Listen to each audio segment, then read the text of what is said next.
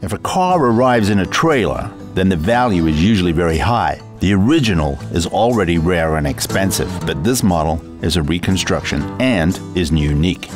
This is a 1937 BMW 328, no longer in original condition as you can see. It was rebuilt in 1938 by its owner at that time, and the baby is now here. The former owner rebuilt the car for the racetrack, and while that is more than 70 years ago, age doesn't affect this car.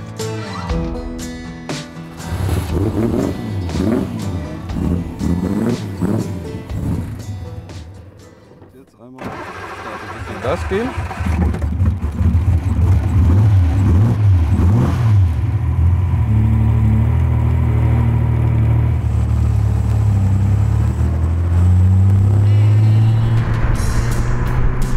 The open two-seater from BMW is 3 meters 90 long, and instead of the standard 80 horsepower, the conversion delivers 90 horsepower on the test bench. And at 680 kilos, it weighs a whopping 140 kilos less than the series production 328. Walter Schlüter was a mine timber merchant from Essen who ordered this car and two other BMW 328s in 1937. Privately, he had a hobby, and that was racing. And as BMW also had their own work teams, and he was the only large privateer, the supply of spare parts was limited. So he then built his own racing team. The BMW 328 offers a good basis for conversions, and the businessman from the Ruhr area in Germany utilized this fact. It was not his style to present his passion in the open. For participation in the race, he turned his name around and started as Walter Rittelsch.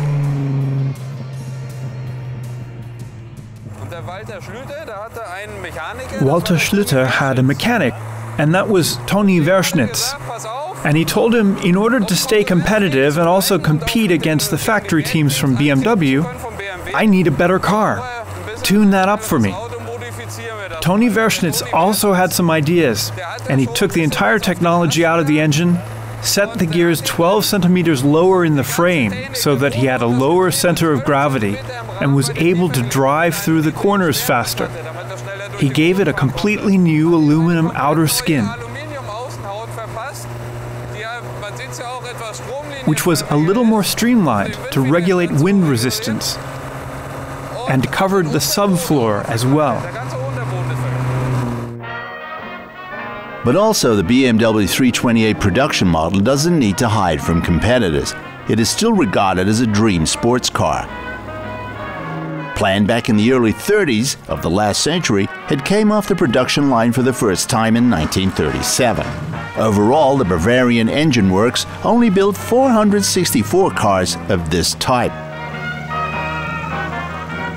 The open two-seater is ahead of its time. The four-wheel hydraulic foot brake, one of the hydraulic brakes developed by BMW, replaced the then standard cable brake. The new type of delay an advantage not only for the racetrack.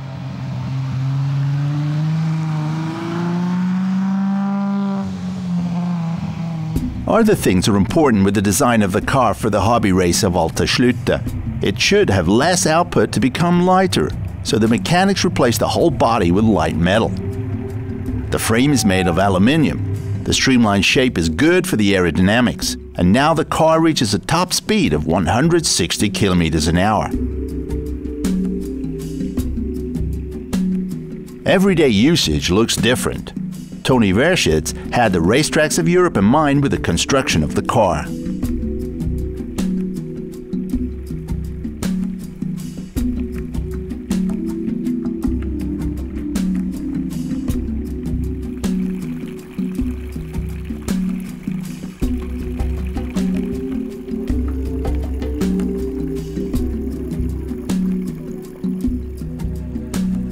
The big steering wheel dominates the interior.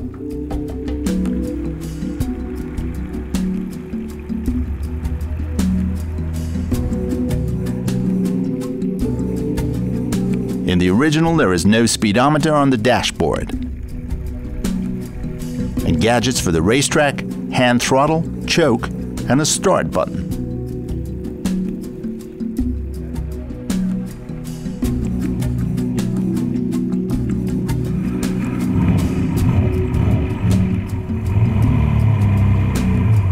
The car exudes speed, and one wins races with a car like this. The concept and implementation match. Walter Schlüter had a different problem. Walter Schlüter only had one problem. That was the tires. And he could only get tires from the manufacturer. And because he was so fast with his car, and he wanted to have the tires, he found himself in a predicament and mostly slowed down before the finish. He had to let the factory drivers go past, otherwise, BMW would have said, You get no more tires. And that would have been it for the driving.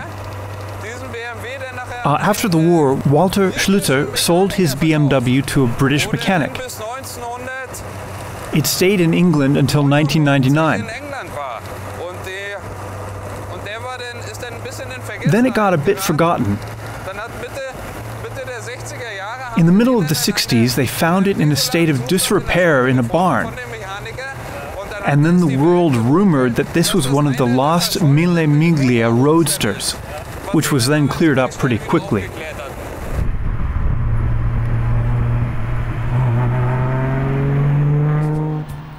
The legendary Mille Miglia car, 1939.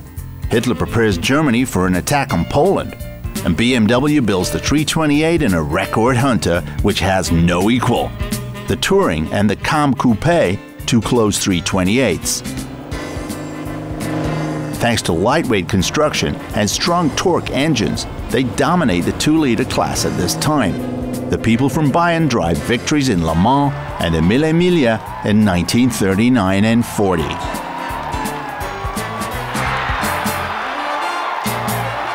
The 328 became the favorite car of the avid male sports driver.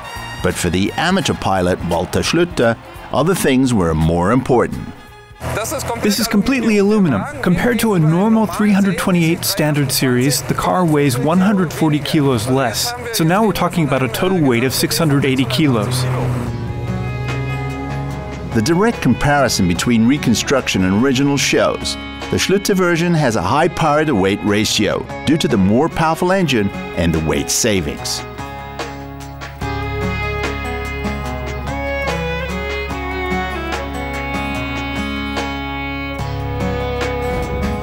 In 1939, Walter Schlüter starts in his converted 328 at the Grossglockner Grand Prix, the Eifel Race, at the Nürburgring, and the Hamburg Stadtparkrennen.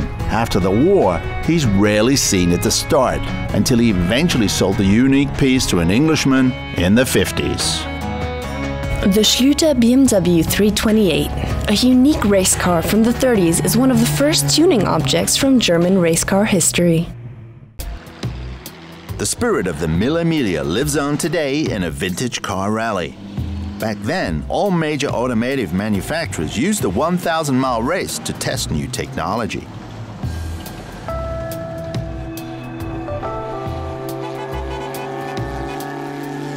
In 1940, BMW participated with five cars. Two of them were coupes. The Roadsters were classed as being superior with their better aerodynamics. That's why a body version from aerodynamics pioneer Wunibald Kamm was also in the group. The car started in 1940 Mille Miglia, and we know that it won in 1947 in Hockenheim. Karl Kling drove the car at the time. The car, which was the dream of every BMW employee, served Karl Löw, the team owner of Veritas, as a company car. In 1953, Löw had a serious accident in the car, and then the trail was lost. We assume that it was not repaired, but scrapped. BMW decided to reconstruct the Kamm Coupe. The aluminium body had to be rebuilt from scratch. There are only a dozen original photos. Chassis, engine, and axles were taken for the restoration from a BMW 328 Roadster. The company Gross from Brandenburg in Germany, specializing in BMW pre-war cars, took on this very challenging task. Wir müssen sehr, sehr viele Referenzmaße nehmen. We had a lot of reference measurements from the photos. We have a few new dimensions, for example, the diameter of the rims and headlights, or even only the BMW emblem. We recalculated these measurements for the components we needed to make. Äh, Bauteile, die wir dann brauchen und bauen wollen, und so geht das, ja. With great tact and sensitivity, slowly but surely, a body was created from aluminium. And with the help of his machine, which shapes the plate curves and edges until it fits.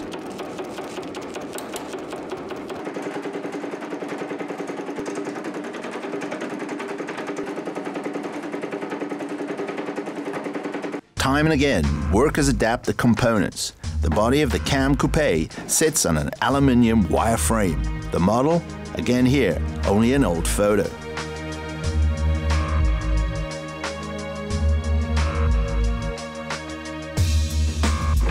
The doors also have their own tubular frame, which is attached to the outer layer of the door with a lot of expertise by folding the edge.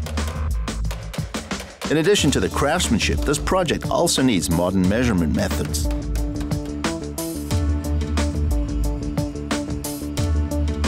Despite best efforts, however, a serious error crept in.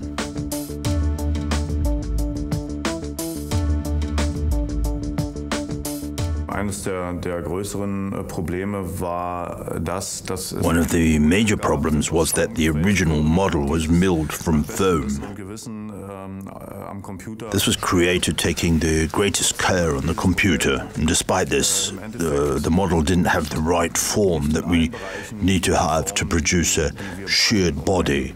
And Even though a lot was already done, such as floor pans, interior dashboard, and so on, we had to set the A pillar area to the outside by mm, one or two centimeters, and this influenced the design lines of many of the uh, components. heraussetzen, was natürlich die gesamte Linienführung vieler, vieler Bauteile äh, beeinflusste.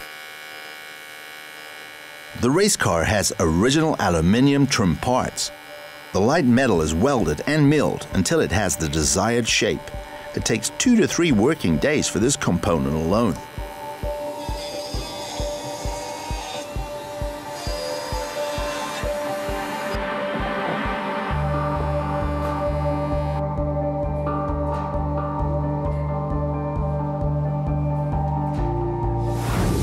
Body shell is finished, and the next step, apply paint. Es ist ja so, dass das Fahrzeug äh, The um, original car was silver, and this was done with uh, fish silver. So that included, amongst uh, other things, ground fish scales. And since these are organic, uh, they were not very durable, and this uh, lac was not light durable. So today we use modern paints to make the color last longer. länger äh, silbern aussehen zu lassen. Today, the car is going to be made silver and satin finish, and that corresponds with the former optic.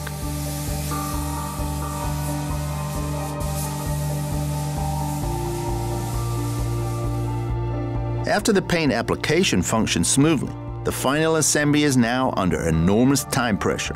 Only two more weeks and the 328 Kamm will be presented to the public at the Concorso de, Eleganza at the Villa d'Este. Finally, after a project time of almost three years, the new 328 Kamm Coupe rolls out of the hall and takes its first steps. The development costs are only known by the customer, BMW.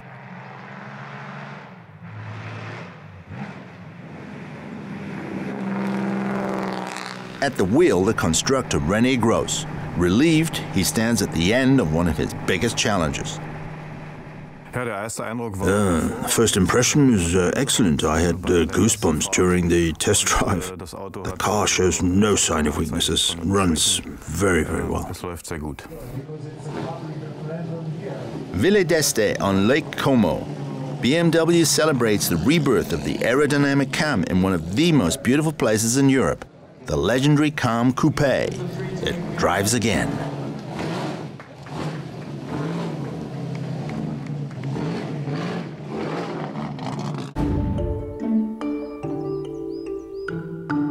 The Bavarian Alps, perfect setting for a noble convertible, one of the most exclusive cars of German production, more specifically from Bavaria.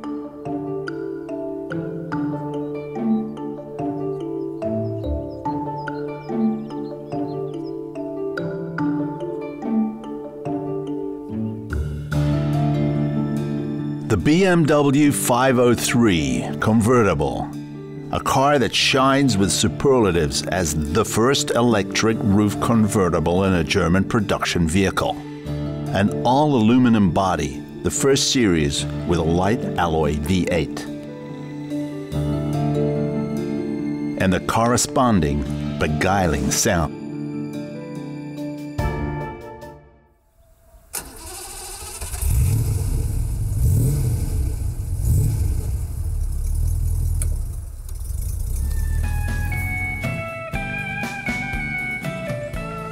Nineteen fifty six the most expensive BMW to date appeared, the 503 in coupe and convertible versions. Both versions are available in the price list for 29,500 marks. At that time, the price of a nice condo in a good location. Michael Pritchow, owner of this model since 16 years, is still entranced.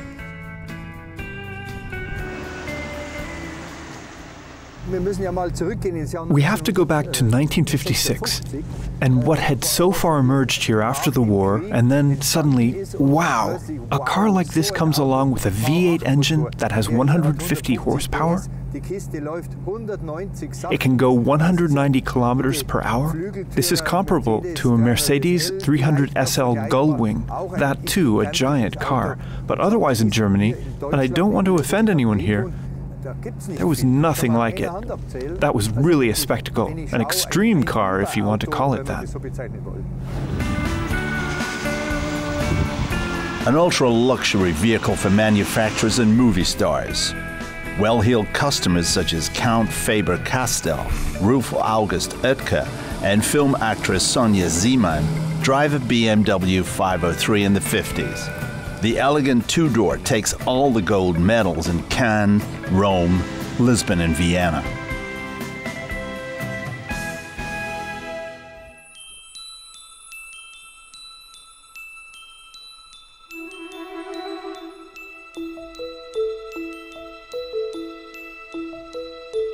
The aluminum cover of the bodywork is made by specialist Baur in Stuttgart.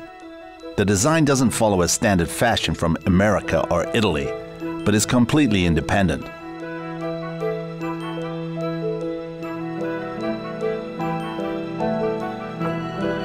The 503 marked a turning point in BMW style. It leads the transition from pre-war design to a sensible design language. The simple shape of the pontoon refrains from any effects and emphasizes the ideal proportion of a Gran Turismo a long bonnet, and a short rear end.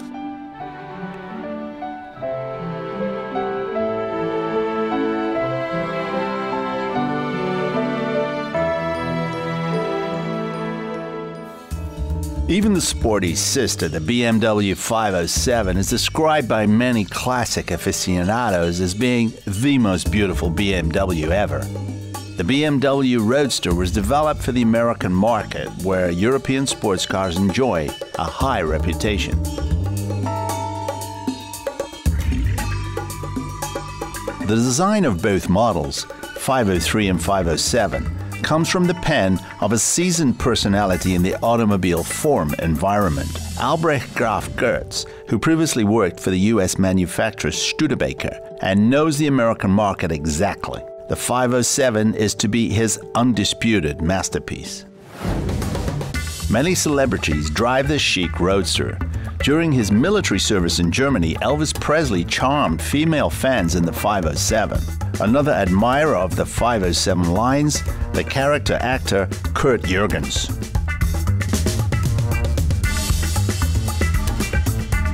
Today, the two-seater still belongs to the design masterpieces as a true BMW. Also, Adrian van Hooydonk, the BMW chief designer, pays the highest respect to the design. It really has this predator like look because it runs so beautifully forward here. And this cover section, which is something we still work very hard on today with our cars, is a typical BMW cut. This car already has it, and Graf Goertz, who was a freelance designer and not employed by BMW, has done this very well. The interior of the 503 also impresses with its simple beauty and aesthetics of the 50s.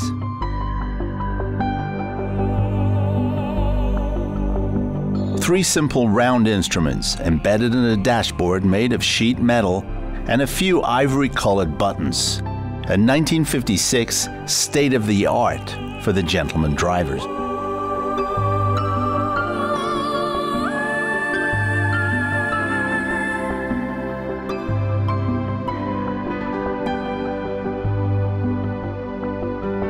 But the birth of the 503 comes at a difficult time for BMW. Exclusive and expensive cars are difficult to sell in post-war Germany. The people from Munich build only 139 units in five years. The Bavarian Motor Works is on the verge of bankruptcy by the end of the 50s. The rescue are small cars like the Isetta and the BMW 700. The comfort and potency of a 503, of course, don't offer this.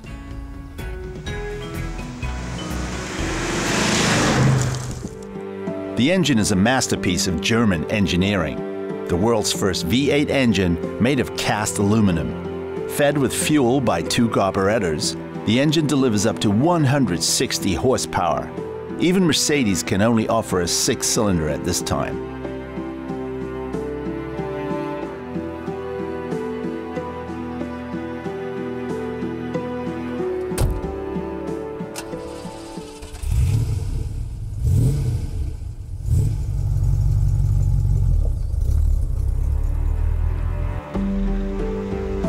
Michael Pruchow from Garmisch-Partenkirchen in the Bavarian Alps, Germany, is happy with his convertible at home on the road. Even through the open-top two-door model is now one of the highest priced classics. The sympathetic guy does not see feelings of envy from other road users.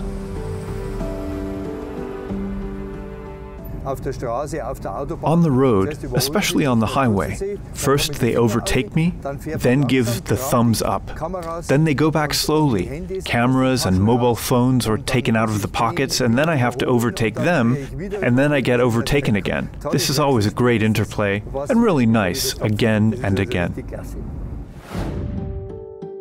It takes time until the 503 establishes itself as a desired classic car. Today, a 503 convertible in good condition costs about a quarter of a million euros.